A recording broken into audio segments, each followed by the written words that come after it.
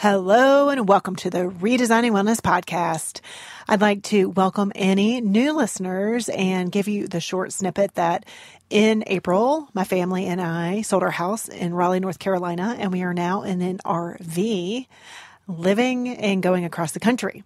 So just a quick update that we have had quite an adventure for the past four, five, five-ish days.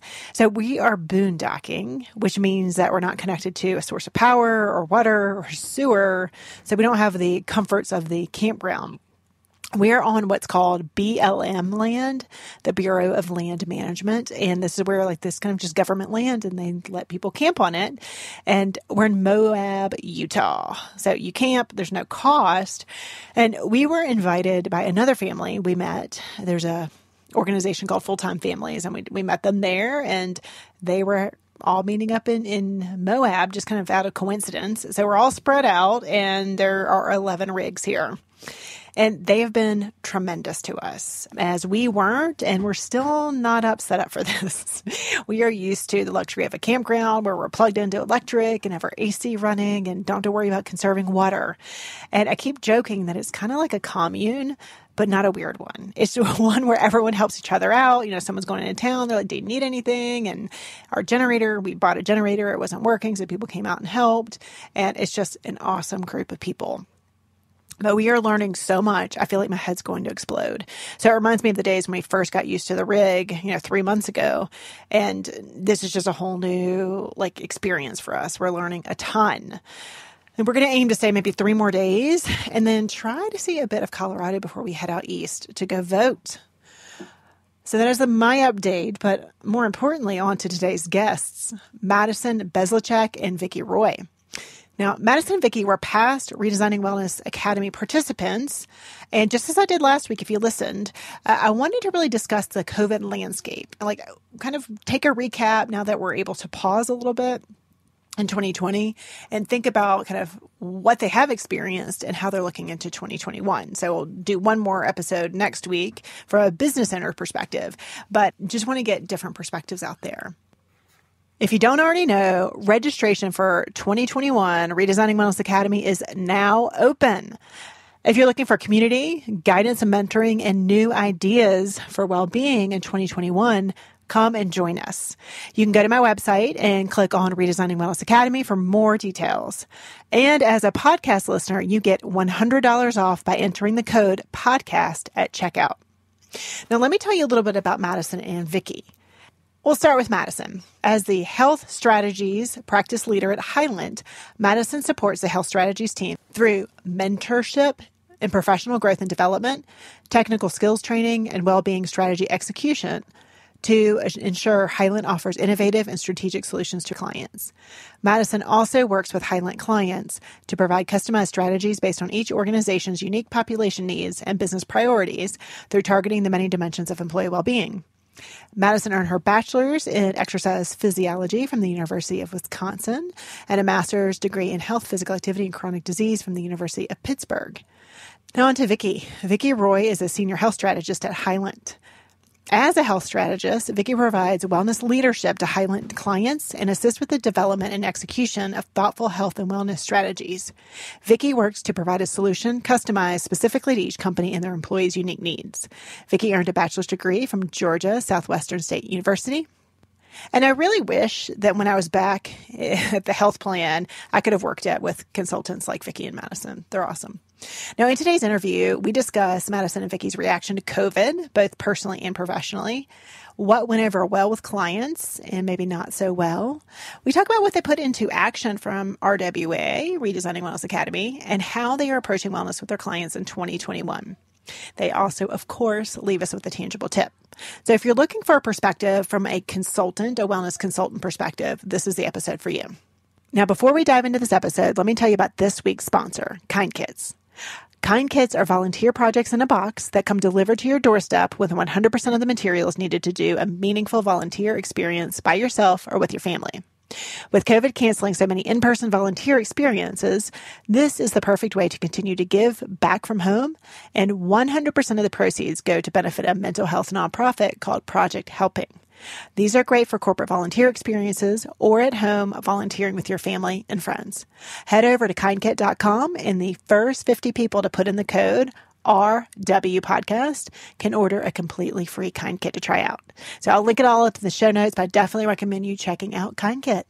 Now, without further ado, I hope you enjoy my interview with Maddison Bezdicek and Vicki Roy. As always, thank you so much for listening to the Redesigning Wellness podcast. Hello and welcome to Redesigning Wellness, your go to podcast for making the most of your corporate health strategies.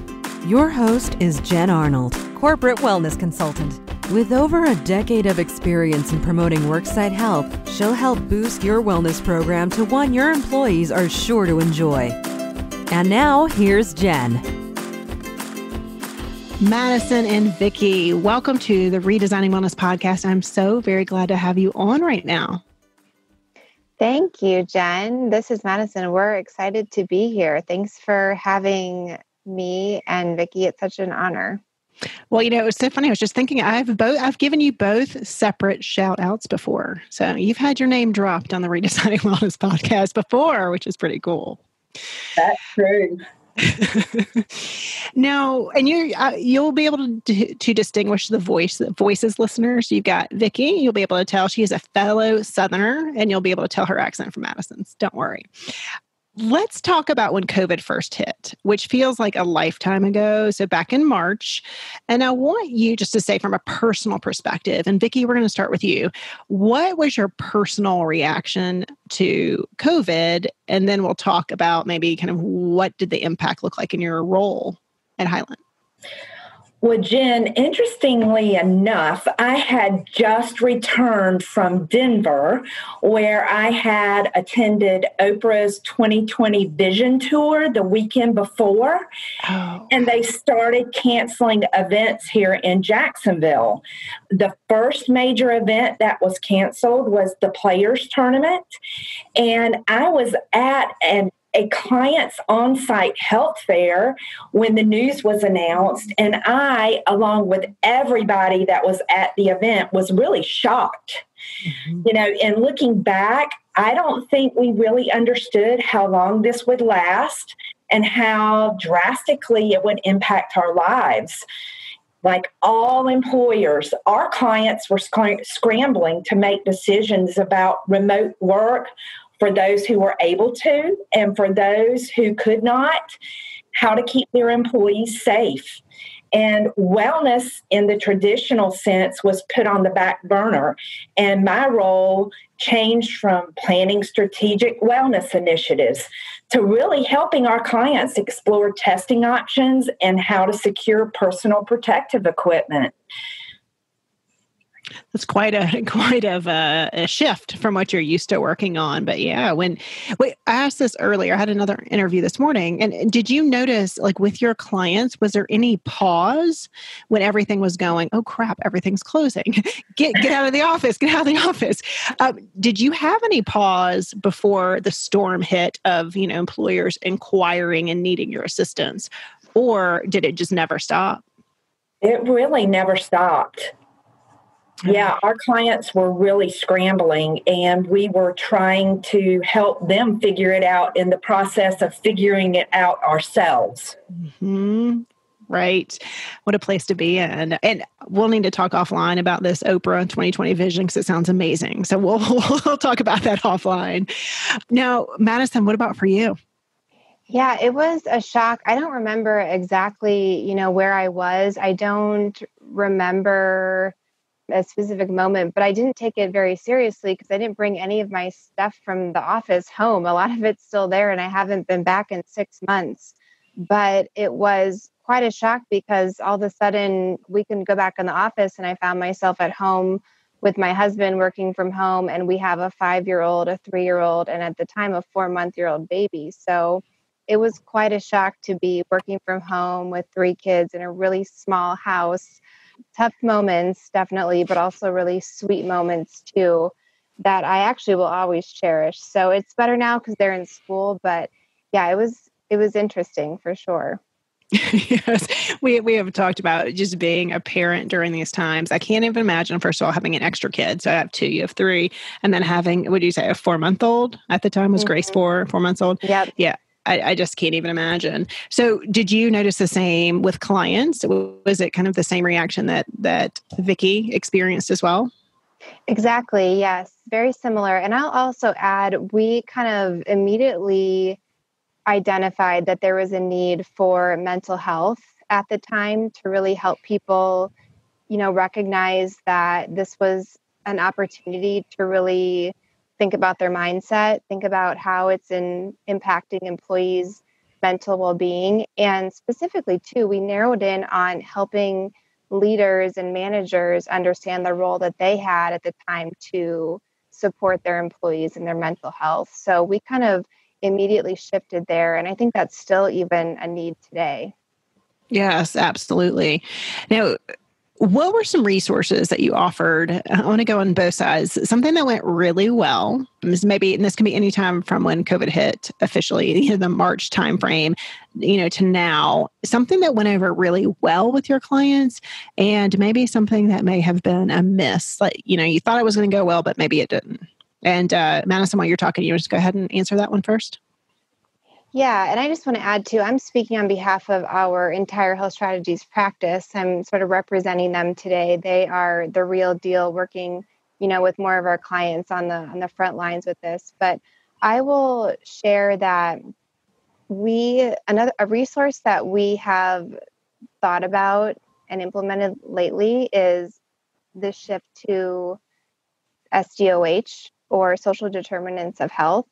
And I think COVID has really expedited that because if you're unfamiliar with the social determinants of health, it's the conditions in which people are born, live, and work, etc. And I really think about these as the root cause of one's unwellness, you know, the barriers that get in the way, socioeconomic status, education, environment, social support, things like that. So in the midst of you know kind of what's going on we have kind of taken a step back and thought about you know what are the real barriers to well-being specifically right now and mental health is one of those like we've already talked about but we've focused on we're starting to focus i should say on you know evaluating that within the employer's influence. What does the employer have the ability to influence in social determinants of health. And I just think that, like I said, COVID has expedited this. They're more open to looking at it from the employer realm and they're more open to supporting employees in this way.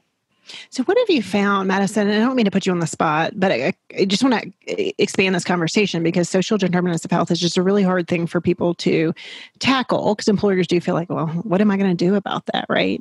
And it is such an underlying cause of, of so much of what we talk about in well being. So, have you found any lever? I don't even think that's the right word. I'm formulating my question as I'm thinking. Have you found anything that employers are willing to address, tackle, support around social determinants of health? What we have found so far, and we're just kind of dipping our toe in the water to be transparent, because I think that there is a lot of work to do in this space. We're starting to talk about it more in terms of financial well being, you know, identifying that as a barrier to health and helping you know build either financial well-being programs or how do we just help people out in that way and in the mental health realm? So you know do we have services that are covered for mental health and what what access do they have? So those are the kind of the two areas i would say are maybe lower hanging fruit that employers are more open to because there are going to be things you know they just don't have influence over. Mm-hmm. and so we're kind of looking at especially you know we work for an employee benefits firm. So you know what what is maybe tied to the health plan access to health care and preventive care and other things like that. So we're really trying to figure out what's most palatable for employers and we're we're finding that that's kind of the best place to start Mm-hmm. Well, good for you for continuing that initiative and not letting it drop because of COVID. And as you said, it's accelerated it. I'm going to pause there and get to Vicki, and then I'm going to come back to maybe something that didn't work so well. Um, Vicki, anything that you have, your team has offered that went over well? Yeah, so to Maddison's point, several different surveys have reported that rates of anxiety and depression have really risen with COVID. Alcohol sales, anxiety and depression prescriptions, and domestic abuse have all spiked in the past few months. So it's really no surprise to us that things that have really gone over well have been related to anxiety, stress, and mental health. So, Hylant has hosted two webinars with experts in the field that addressed stress and anxiety and really gave our clients some practical ways to help their employees. Maddison and I created a 10 minute talk on a shift to mental well being that we distributed to our clients, again, with really granular ways and ideas to help their employees. And then I have created short custom videos for several clients that outline available resources, including their own EAP carrier resources, national, local resources that clients have shown in virtual staff meetings and or posted on their internal intranet or company website for employees to access on demand. That's awesome. I'm always impressed by both of you and the, the information that you put out there for your clients, as well as even just on LinkedIn. So I think you're on the forefront of uh, creating valuable resources. Now, at least for me, I know that there's been a few things that was kind of like I thought would be exciting for for employees, and it was kind of like crickets. Did you do anything or try anything that maybe didn't get the traction that you thought? Maddison, I guess back to you.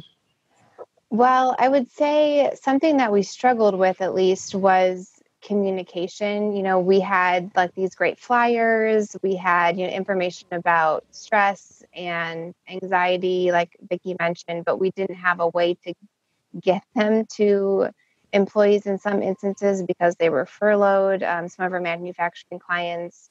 So that was kind of identified as this is a barrier. We we can't communicate with them at this time. So that was a real struggle for us to, you know, be able to help our clients get to employees in that way because we didn't have a good way to communicate with them. Yeah, that is really tough, especially when they are furloughed. Now, Vicki, what about you? Yeah, so early on, some of the wellness programs that are traditionally utilized um, by our clients, they just didn't go over well.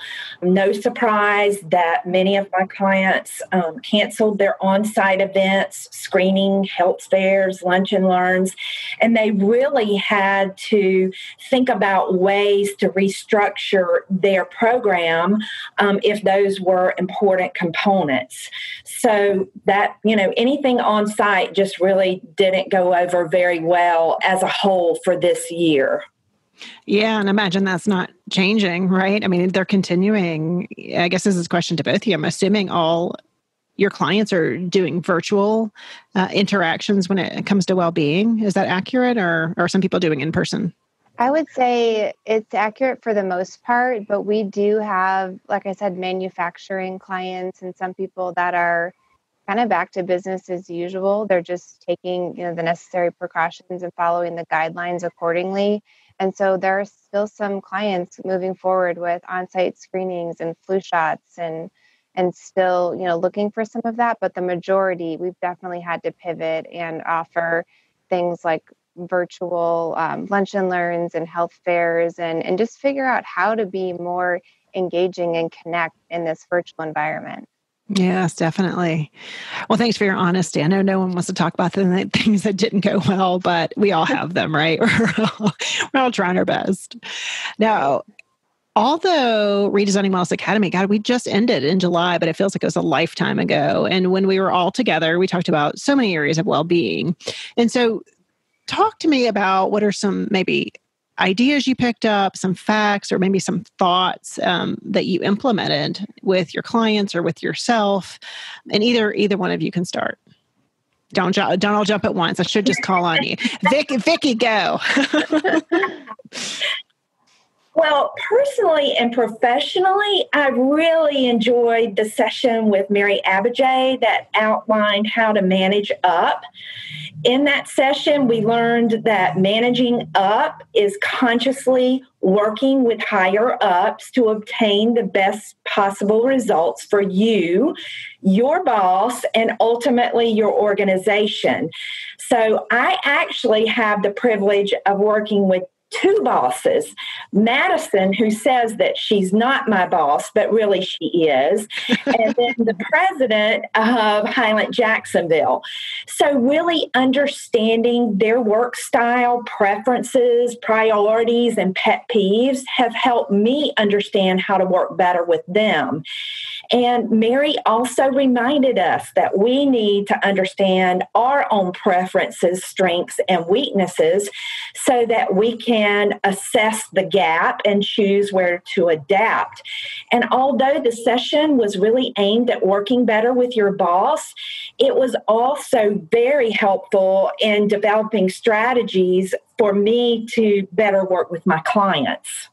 Yes, Mary is one of my favorites, and she was actually a favorite from Academy members. And this is a spoiler a spoiler alert that I'm bringing her back for 2021 because she's just so good. so I'm glad that resonated, and I'm glad at least one of your bosses is Maddison. So at least you've got one win. But Maddison, Maddison, what about you, boss lady? That is so funny that she thinks I'm her boss. That's funny. we'll go with it, right? yeah, think of myself more as a mentor. Um, so I took so many things away from the academy. It was hard to to boil it down, but what I would share, one of the most important things I took from the training and started to implement in our own organization for our internal strategy at Hylant was the importance of building relationships across the organization.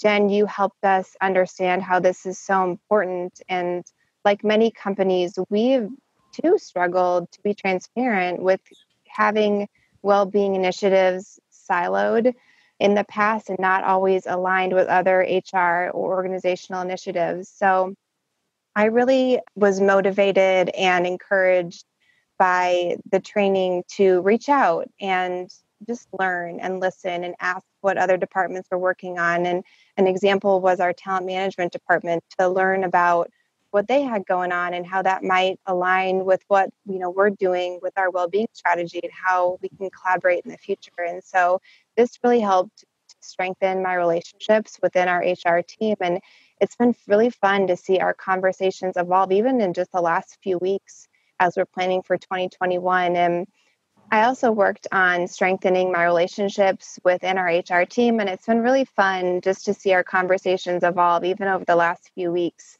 And they've come up with some awesome ideas, and I think it really uh, stemmed from just building that relationship and seeing that we had more common goals than we realized.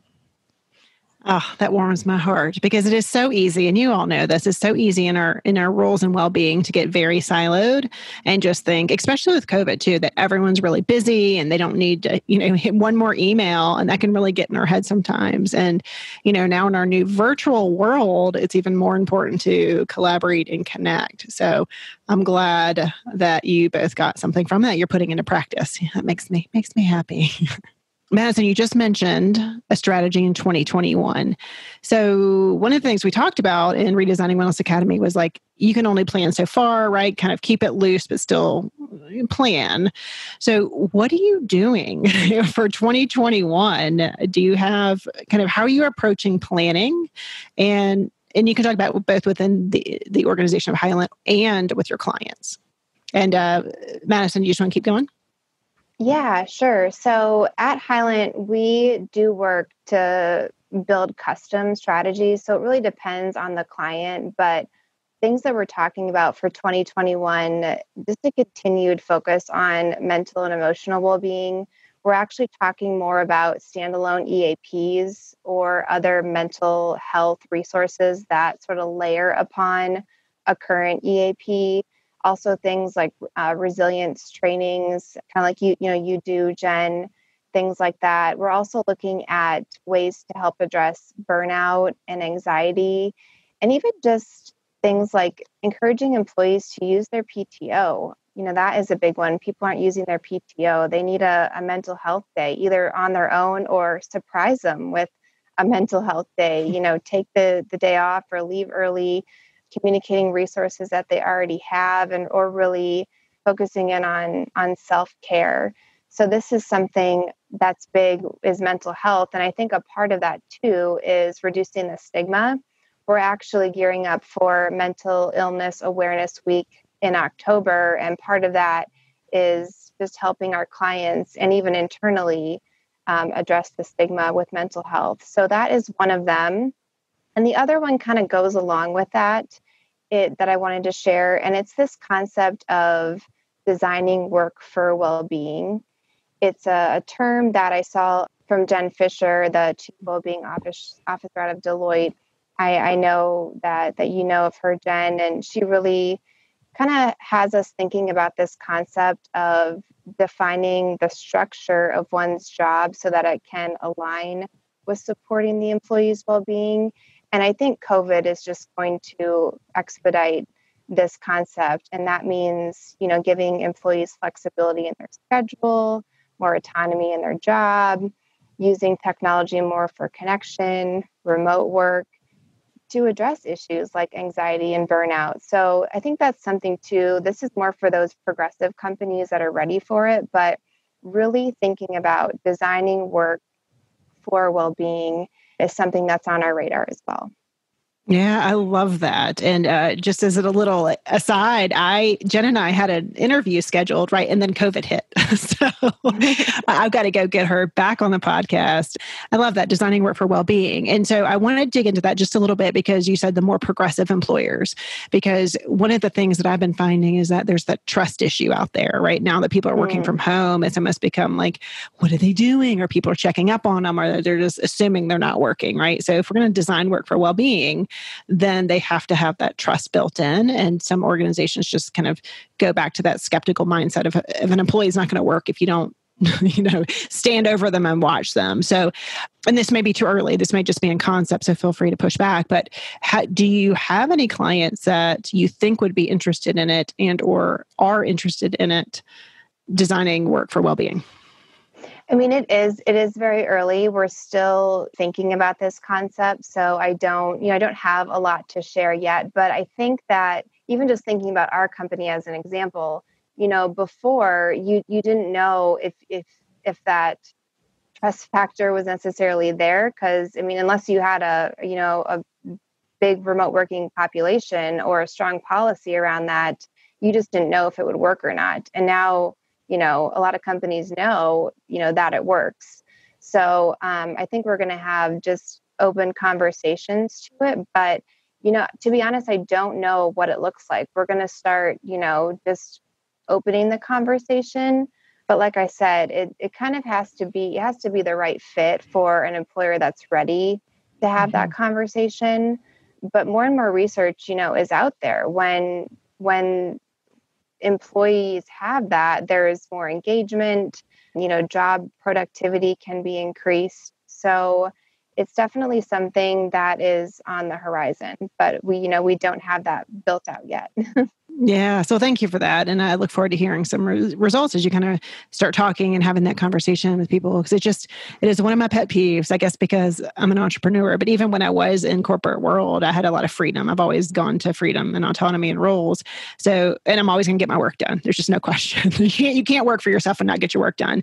So it's uh, preposterous to me, like when organizations just don't trust their employees.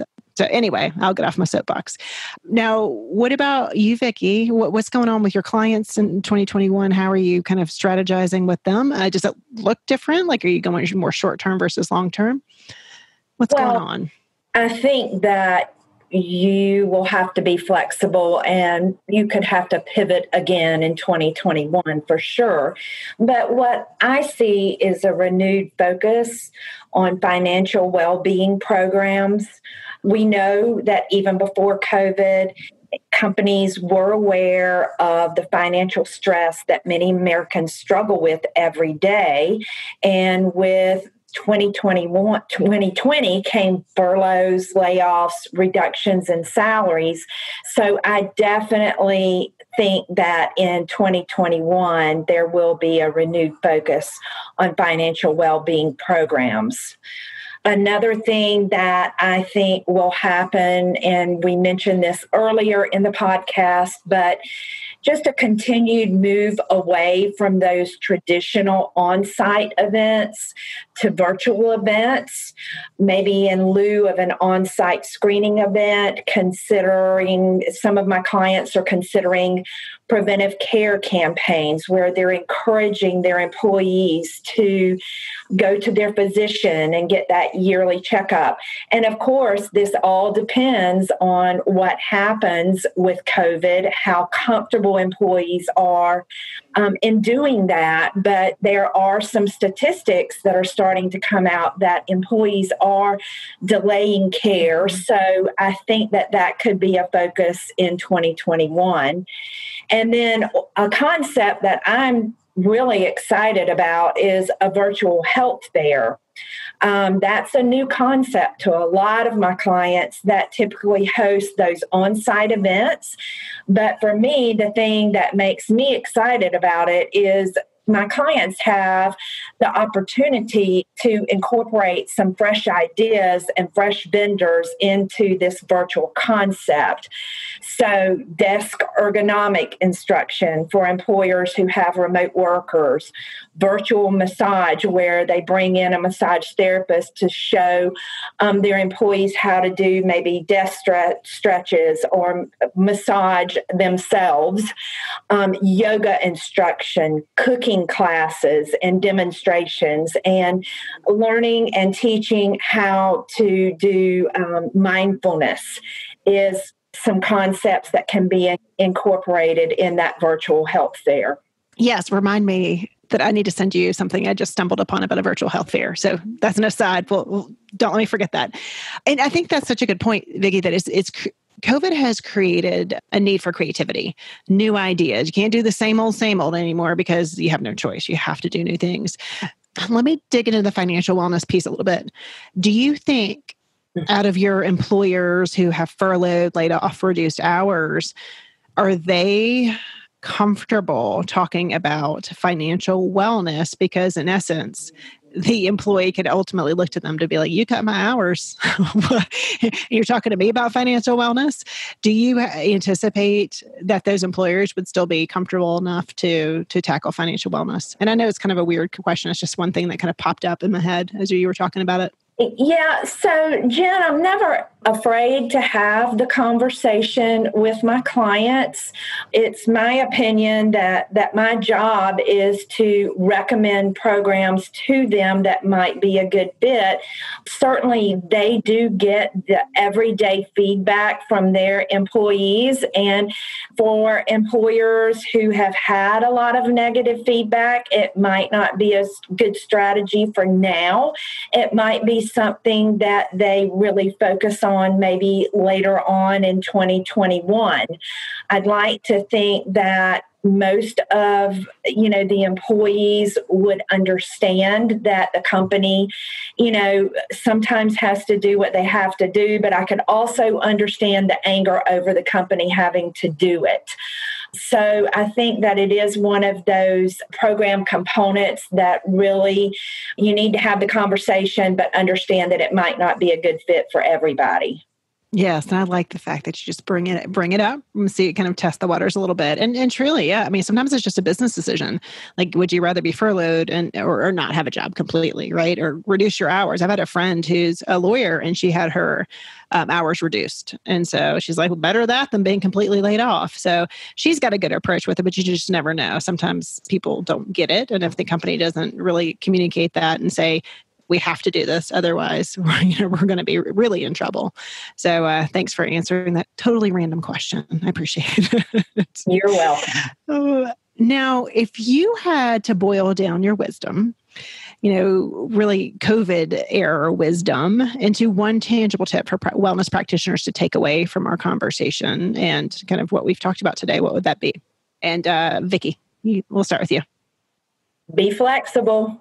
Be ready to pivot. I wish we had that crystal ball so that we would know what 2021 is going to look like, but unfortunately, we just don't. So be flexible, be creative. Love it. Exclamation, exclamation. That is, yes, perfect, perfect advice. What about you, Maddison? Yeah, what I would share right now is that I think it's really important to understand in this time what employees really need and what they really value, not just what you may think as, you know, a leader, or what you've heard other companies doing. And, you know, to be tangible, I think that this can be done by a smaller focus group or maybe asking managers, you know, what they're hearing, what are people needing. And even if it's a survey, you know, that can be done in the right way. As an example, I know many companies are doing surveys right now about return to work and response to COVID we actually just did a survey like this for our employees. And if you ask the right questions, it can really help you understand what employees are struggling with right now and how you may need to, to shift your strategy. So I would say just make sure you're not assuming and most importantly, listening and asking what your employees need right now. Mm-hmm. And, you know, I'm going to ask this of you. Thank you for that, Maddison. So, if, if you had to think about your clients, the ones that you work with, what percent would you say are back to work or maybe never left work? And what percent would you say are kind of st- like still virtual? And I, I, didn't prep you for this. So, it is totally ballpark. Um, either one of you can answer. Yeah, that's a good question. I would say probably. Uh 60 40 i would say you know maybe 30 to 40 percent are back and 60 percent are still totally remote yeah. and are you are you seeing that that they are making plans to go back to work or you think are they mainly going in, it may be a lot longer I think a lot are, I think many are making plans. You know, we've heard, especially in our industry, you know, there's certain companies that are saying nothing until January 1st. We're going to be off. Don't even, you know, plan for it until January when we'll reassess. Um, so some are, are in that boat, and others are, you know, trying to assess to see when we can come back to the office and weigh, you know, the safety component to the, you know, collaborative and productivity component. So it really just depends. We've seen just tons of different variables and you know every company kind of has their own situation. So it's been very interesting how you know, the, the approaches are very different. Yes absolutely. Vicki's it about the same on your end in jacksonville yeah, it is. It's interesting because, you know, I I do have the privilege of working with a healthcare system. Obviously, um, they're essential. And I do have some other companies that are considered essential that are in the transportation business, as well as um, a couple of schools that have recently obviously gone back to brick and mortar. So I would say it's probably 60 60% remote and 40% still you know working and and in the office or at the company uh, working on site. So yes i do have it, you know quite a few that are still working. And so to Maddison's point you know it, it makes it interesting. And again i can't assume because if you're working remotely, that might be one strategy. But if you have employees at your organization, then that that's a whole another you know strategy in and of itself. Like our jobs aren't hard enough, right, Vicki? it's just it is is really hard. It, it, it's it's challenging uh, to, to really just think about the different models and how each employer is different and especially with healthcare what they've been through what they're going to continue to go through and then you know like you said transportation. Just i think that is one of the most the biggest challenges is about well-being in our roles is that when you go across different industries it can be completely different and how you need to and should engage employees. So i'm going to throw you for a loop and ask you a question that i did not prepare you for And so we can you can have your time to think about it. But what do you think is one skill that you have strengthened or maybe leaned into during COVID? So maybe it's a skill or a strength that you have that you have really just I guess I guess the best way to say is leaned into as a result of COVID. Take I, your time too. That's good. I can go first. I guess what comes to mind for me is empathy. Uh, I know empathy is something that I've learned a lot about lately, and I've had what I know Brene Brown calls empathy misses, where you're trying to be empathetic, but instead sometimes you you are not helpful.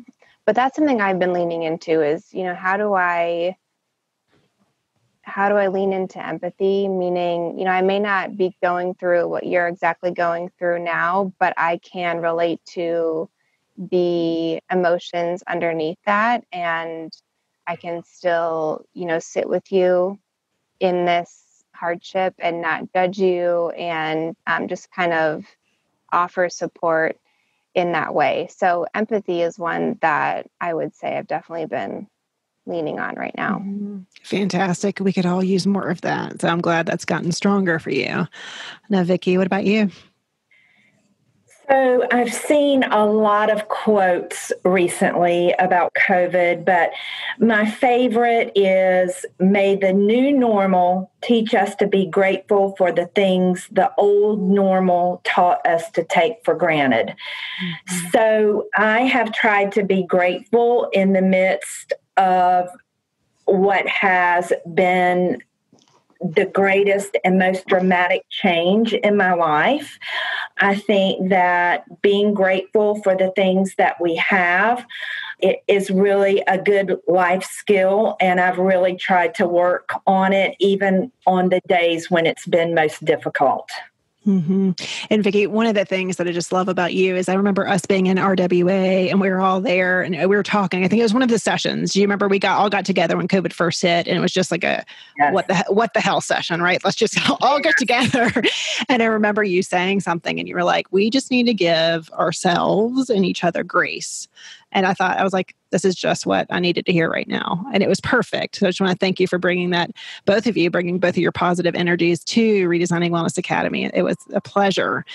So, how can people get in contact with you all? It can just be your LinkedIn profile that I can link up for you or um, anything you want to share here for contact info. Yep, LinkedIn is is perfect. That's the best way to get a hold of me. Yep that's the best way to get hold of me as well, Jen. And just a shout out for Jen Arnold. Really enjoyed the Redesigning Wellness Academy. I would encourage anyone who wants to learn more and grow and develop their skills to consider joining your next next session. Oh, you can't see me, but I'm smiling. I've got a big smile on my face. Thank you so much, Vicki before we end today, is there anything that you want to leave my listeners with that I may not have asked or that you just want to say? And you can say, nope, I'm good, but I just want to provide some space here before we end. I'm good. You're like, I just said it, Jen. I'm done. what about you, Maddison? Anything? Yeah, I guess I would just say that a reminder for wellness practitioners, whatever we want to call ourselves, well being consultants out there, that I really think this is a journey and that persistence and patience is key, especially in, you know, a time like this when there's there's such a need for well-being, but there's a focus on, you know, so many other operational initiatives. And when I first started in this career, I wanted to help everybody and do population health management. And I kind of had, you know, some binary thinking that I just needed, you know, there are unhealthy people and healthy people, and we just needed to help help everybody and change behaviors. But I've learned that it's really about helping people and supporting them in where they're at. And that may come one employee at a time and one point of connection at a time. And it, it may even just be your coworkers and, you know, supporting them and showing up for them. And that may be one of the most powerful things you do too. So I just wanted to share that. That's kind of what I've learned so far in my career is that, you know, it's not just about trying to change populations of people, but really just, you know, how do I help the person that's in front of me and just keep, you know, that that one employee in mind. Fantastic. That is lovely. I think we've all been there. Like, I definitely, you've heard my story that I've been there, very binary thinker, black or white, healthy or unhealthy. So I appreciate that you talked about that because I've, I've been there and I understand that.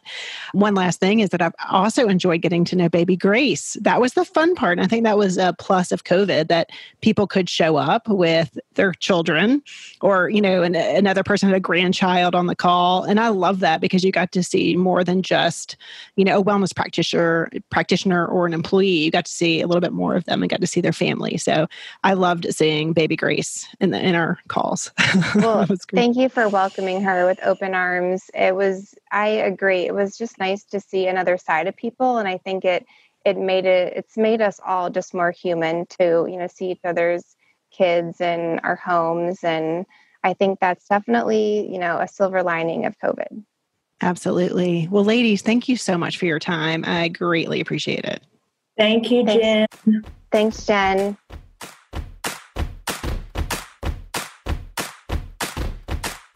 There's been a lot of news and media attention lately about stress and job burnout. If you're trying to solve this problem with stress balls and those lovely stress dots that you get at health fairs that you know react with your skin and change colors, it's time to try a different approach. Redesigning Wellness offers an impactful resilience training that teaches employees how to thrive in the fast paced, continuously changing environment that is corporate America. We take a multi dimensional approach that not only includes the physical, but also emotional, mental, and spiritual dimensions. I love giving this training, and the feedback has been tremendous. For more information on resilience training, visit redesigningwellness.com.